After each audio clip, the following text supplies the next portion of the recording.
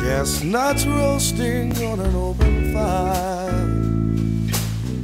Jack Frost. Hi folks, Sarah MacBurnie here. And Tim Shea with the Sarah MacBurnie Group. We wanted to take a minute to tell you how grateful we are to have all of you. We're blessed to be able to do what we do and have the relationships we have with you all.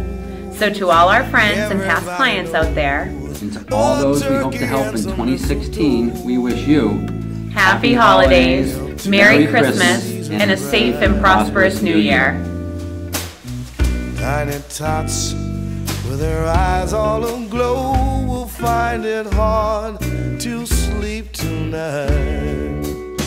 They know that Santa's on his way.